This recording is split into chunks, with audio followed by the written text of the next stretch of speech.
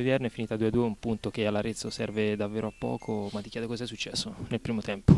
Eh, saperlo, guarda. Eh, ci ho pensato un po' su nello spogliatoio, abbiamo pure parlato. Mm, una squadra come la nostra comunque che deve vincere, non, può, non credo che non può fare un primo tempo del genere.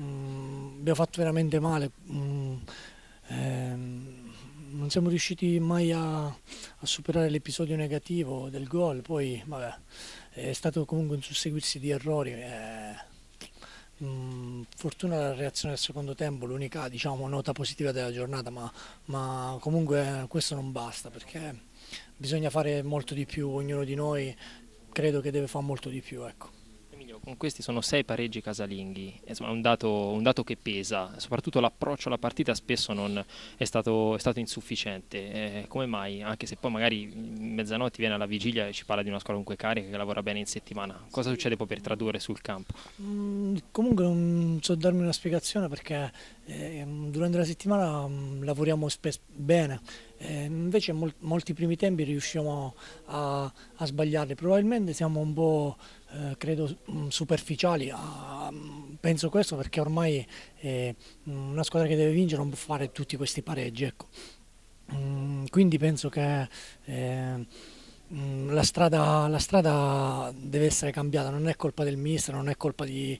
Eh, è solo colpa nostra perché comunque fra il primo e il secondo tempo la squadra non può avere due, due atteggiamenti, due modi di giocare così diversi, quindi la colpa è dentro di noi, ognuno deve ricercare dentro di sé eh, qualcosa in più, fare più sacrifici e più rinunce probabilmente, quindi eh, dobbiamo, dobbiamo, crescere. Ecco. Meno 8 dalla Pistoiese si può ancora credere.